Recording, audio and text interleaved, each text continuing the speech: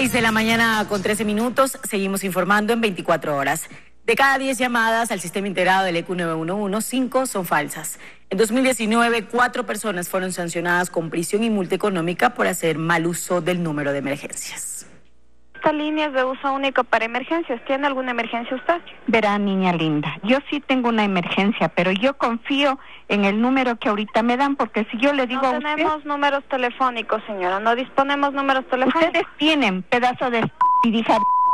Son grabaciones de llamadas reales hechas al servicio integrado del EQ 911 y que las autoridades publicaron para informar del mal uso del número de emergencias en Ecuador, una conducta que es sancionada con cárcel. Nosotros el año anterior se detuvieron a cuatro personas, dos en Santo Domingo, una en Cuenca y otra en Ibarra, que se puso la denuncia respectiva.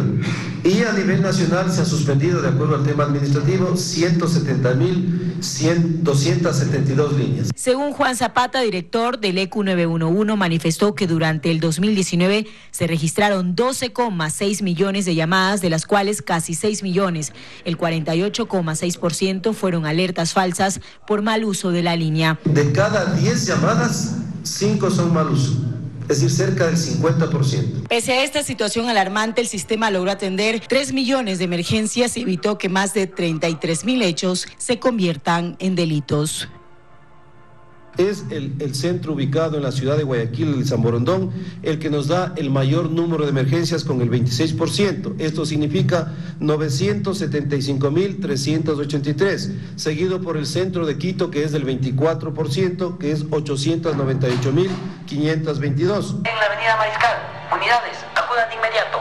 Según la tipología de incidentes, las emergencias reportadas corresponden el 70% seguridad ciudadana, el 15% gestión sanitaria, el 9% tránsito y movilidad, el 3% en servicios municipales, el 2% en gestión de siniestros, entre otros. Si hay un, tema de violencia y delincuencia, nosotros estamos prestos para atender, pero vuelvo a repetir, o sea, siempre es un, una, una relación proporcional. A mayor cantidad de población, mayor cantidad de problemas. Según las autoridades, durante 2019 registraron 125 mil llamadas por violencia de género.